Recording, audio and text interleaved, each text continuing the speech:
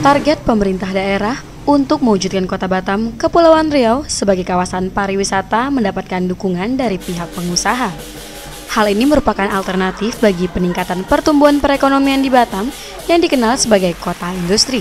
Salah satu bentuk dukungan itu adalah dengan keberadaan Deka Hotel yang sebelumnya bernama Hotel Seruni berlokasi di kawasan Kampung Seraya.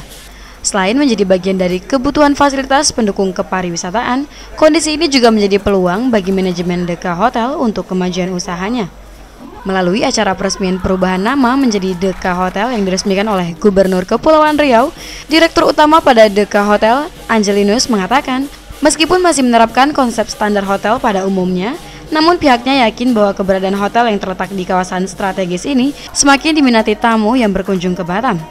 Mudah-mudahan dengan dibukanya ini okupansinya.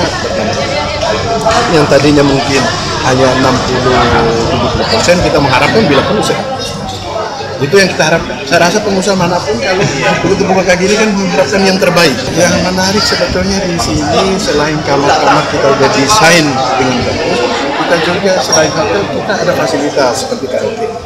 Nuansa baru yang dihadirkan diharapkan akan mampu menambah kemajuan pariwisata dan jumlah kunjungan wisatawan ke Batam. Untuk melakukan promosi yang lebih luas, Deka Hotel telah bekerja sama dengan PHRI, Asita, dan organisasi pariwisata lainnya. Dari Batam, Kepulauan Riau, Andri Sofian melaporkan.